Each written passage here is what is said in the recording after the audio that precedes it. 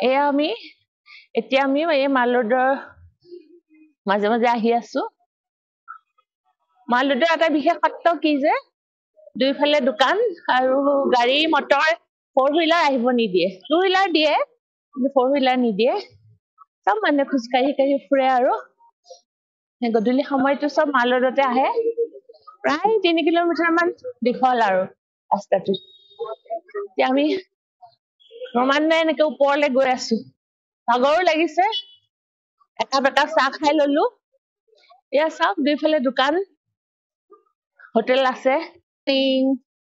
আজি আমাৰ মুছৰি second day এতিয়া আমি ওলাই গা পা ধুলো ধুই খুব ধুনীয়া ব্ৰেকফাষ্ট কৰিলো কৰি এতিয়া আমি দহটা বজাত এই অকমান চাইট চিঙত যাম ওলাই আহিছো ইমান সুন্দৰ পৰিৱেশ চাওকচোন হোটেলখনৰ আৰু খানা খুব ধুনীয়া। এতিয়া আমি আমাৰ গাড়ী ৰৈ আছে তলত। এইটো আমাৰ হোটেলৰ আমাৰ এখন বাৰাণ্ডা বেলকনিয়ে হয়। এইটো কি ফুল চাওকচোন? এই ফুলটো ইমান ধুনীয়া লাগিছে। এই ফুলটো মই আগতে দেখা নাই। ইমান ধুনীয়া। আৰু এইবোৰ এনেকে ডেকৰেশ্যন। খুব আৰ্টিষ্টিক আৰু হোটেলখন। খুব ভাল লাগিছে। মজা লাগিছে। এয়া আমি এতিয়া খুব সুন্দৰ ৰাস্তাৰে গৈ আছো। পাহাৰৰ মাজে মাজে একা বেকা ৰাস্তা। আমি এটা ধনাউলটি বুলি এটা জেগা আছে তাতে যাম। ইয়াতে গৈ আপোনালোকক দেখাম। বহুত ওপৰত এই গৈয়ে আছো আৰু প্ৰাকৃতিক সৌন্দৰ্য চাই চাই। খুব ভাল লাগিছে।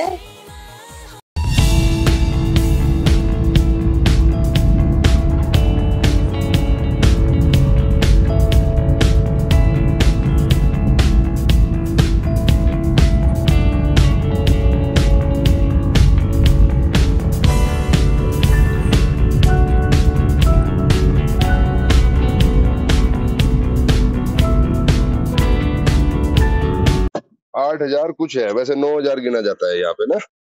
नौ हज़ार फीट। हाँ नौ हज़ार फीट है हाँ। ताकि तो बर्फ़ पड़ती है यहाँ पे ना? है महीना में? ये बर्फ़ पड़ेगी आपकी जनवरी से लेके दिसंबर लास्ट से लगा लो आप छब्बीस तारीख से।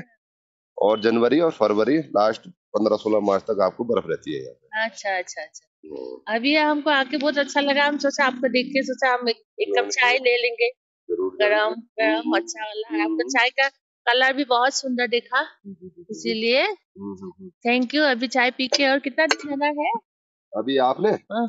आपने जाना है माता के मंदिर जाना है जी बारह जी किलोमीटर आगे। बारह है ना हाँ जी हाँ ठीक है थैंक यू हम्म। আমি ন হেজাৰ ফিট ওপৰলে উঠ- আহি আহি আহি আহি আহি ইমান সুন্দৰ পৰিৱেশ মানে নেচাৰেল বিউটি উপভোগ কৰি এতিয়া আমি মুছৰিৰ আহ ধনাউতি মন্দিৰ পাম আৰু আমি এতিয়া মাৰ প্ৰসাদ কিনিছো মাৰ কাপোৰ কিনিছো এতিয়া আমি চিৰি দি বগাই যাম তাৰ পৰা আমি ৰোপৱেত যাম। আহক গৈ থাকো।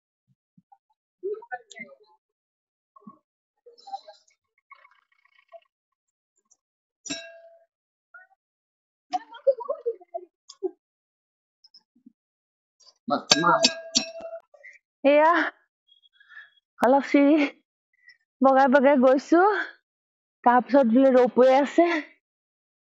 মা একদম কৈলাশত আছে মাৰ ওচৰলে বুলি আহিছো হে মা শক্তি দিয়া ইমান ফুপাইছো সেই গৈ আছো এয়া আমি ৰোপৱেত যাবলে টিকেট ললো টিকেট ফেয়াৰ আপোনাৰ টু ফিফটি না টু হাণ্ড্ৰেড ফাইভ আমাৰ দুজনে মিলাই ফ'ৰ টেন লৈছে এতিয়া আমি ওপৰত আহিলো আহি উঠা নাই ট্ৰলিত আমি বহিব দিছে আমাক নেক্সট সেই ওপৰৰ পৰা চাওক এই আহি আছে সেইখন আহিলে আমি এই ওপৰত চোৱা ব্লু কালাৰ আমি ট্ৰলিত বহিলো বহি বাছ যাত্ৰা আৰম্ভ কৰিছো এ, আমি ট্ৰলিত গৈছো বহুত দেৰি লাগে কাৰণে এইবোৰ চব খোজকাঢ়ি যোৱা ৰাস্তা আছে এইবোৰ মানে খোজকাঢ়ি গৈছো তেওঁ খোজকাঢ়ি কাঢ়ি গৈ থাকিব কিমান সময় লাগে চাওঁ এই পাহাৰৰ মাজেদি গৈ আছো এই ওপৰত মা মন্দিৰ আমি আহি আছো পাম আৰু ৰঘুৱে পৰা মই লৈছো ভিডিঅ'টো একদম আছো আছো আৰু তলেদি এইবোৰ চাওক মানুহ খোজকাঢ়া মানুহ আহি আছে তলৰ ৰাস্তা আমি মন্দিৰ দুৱাৰমুখ পাইছোহি এইফালে চাওক সেয়া মন্দিৰ ওপৰত নৱৰাত্ৰিৰ কাৰণে কেনেকুৱা এটা পৰিৱেশ চলি আছে। আৰু তলত চাওঁ ইয়াতো আমি ৰোপৱেদিয়ে আহিলো। এতিয়া আহক আমি মন্দিৰৰ মাক দৰ্শন কৰিব পাৰো নে নোৱাৰো চাওঁ। গৈ থাকো। চিৰি বগাই।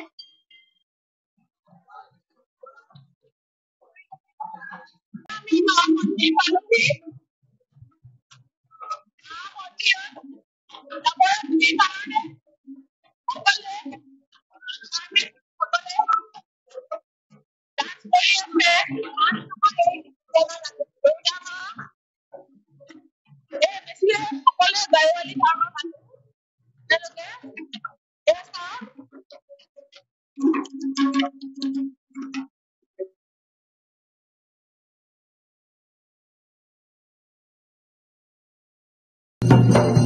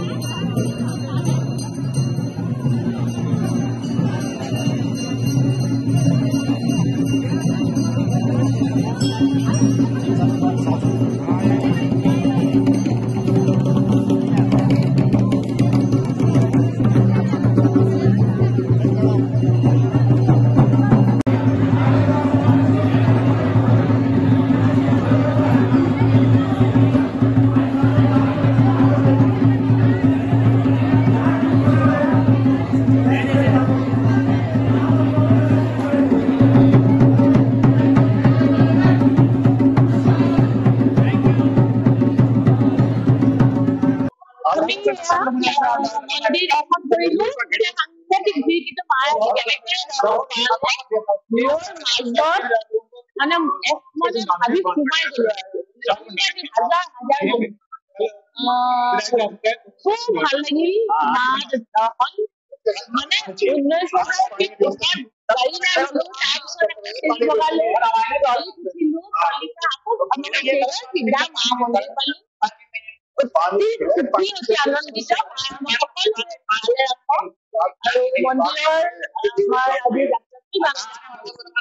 এয়া আমি এতিয়া মন্দিৰ মা মন্দিৰৰ পৰা নামি আহিলো। অলপ আহিছো পাহাৰ আহিয়ে।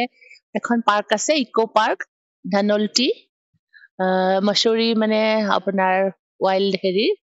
গতিকে ধানল্টি ৱাইল্ড পাৰ্ক এখন আছে। তাতে চাওচোন কি আছে। বৰ ডাঙৰ যেন লাগিছে এৰিয়াটো। গছ গছনি আৰু নেচাৰেল চিনেৰী নেচাৰেল বিউটি তাকে অলপ চাওঁ এনজয় কৰো নহয় জানো? খুব ধুনীয়া ধুনীয়া গছ আছে এইবোৰ। এই গছবোৰক ইহঁতে ইয়াত দেৱদাৰু গছ বুলি কয়। কিন্তু আমাৰ দেৱদাৰু গছবোৰ এনেকুৱা নহয় কিন্তু। এয়া চাওক এতিয়া গৈ আছো। অলপ চিৰি বগাব লাগিব আৰু। এয়া ইক' পাৰ্কৰ সৌন্দৰ্য তেনেকুৱা একো নাই ফুল চুল নাই ফুল চব শেষ হ'ল নেচাৰেল গ্ৰীণ গছবোৰ আছে আৰু ডাঙৰ ডাঙৰ গছ এই চাইডৰ ফালে পাহাৰৰ সৌন্দৰ্য আৰু কিছুমান প্লে জ'ন আছিলে সেইবোৰ কিন্তু এতিয়া বন্ধ কৰি থৈছে কিয় নাজানো পুৰা বন্ধ কৰি থৈছে গতিকে চাবলৈ নাই তেনেকুৱা আমি যাওঁ আৰু সেয়া বান্দৰ। নহয় জানো? ঘৰলৈকে যাওঁ আৰু এতিয়া গাড়ীত উঠো ৰাস্তাত অলপ কিবা কিবি দেখাই যাম। নমস্কাৰ মই আজি যিটো মন্দিৰৰ পৰা আহিলোঁগৈ মন্দিৰৰ মাহাত্ম্যটো মই কোৱা নহ'লে সেইটো মই ক'বলৈ পাই সুখী হ'ম যে আপোনালোকে সকলোৱে গম পাব। যিসকলে জানেতো জানেই আৰু। যেতিয়া আপোনাৰ সতীৰ দেউতাক দক্ষ ৰজা দক্ষ ৰজাৰ জীয়েকক মানে এজন ভঙুৱা কাপোৰ কানি নিপিন্ধা ভাং খোৱা চুলি তুলি থকা এজন ল'ৰা লৈ জীয়েকক বিয়া দিব খোজা নাছিলে। তাৰপিছত সতীয়েতো শিৱলৈ বিয়া হ'বই গতিকে দক্ষ ৰজাৰ খুব খং আৰু তেওঁৰ সতীয়ে শিৱৰ লগত বিয়া হ'ল।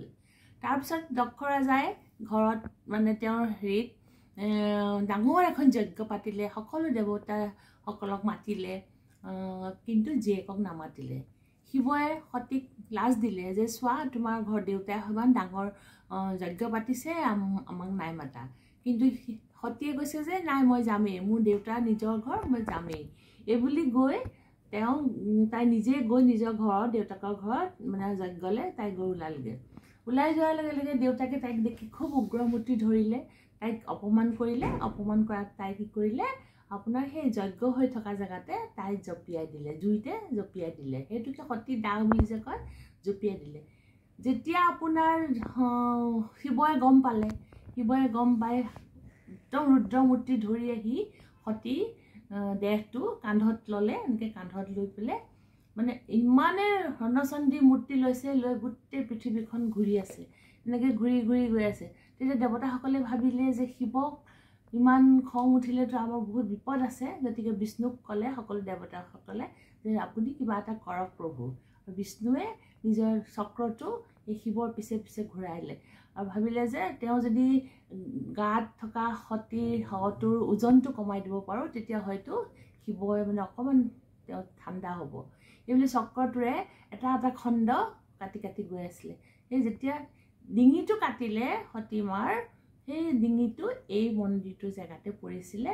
সেইকাৰণে এওঁলোকে সেইটো শ্ৰীকান্ত মন্দিৰ বুলি কয়। আছিলে শিৰ মানে এই মূৰটো কাটা সেই মাৰ মূৰটো এই অনু এই মন্দিৰটোত পৰিছিলে।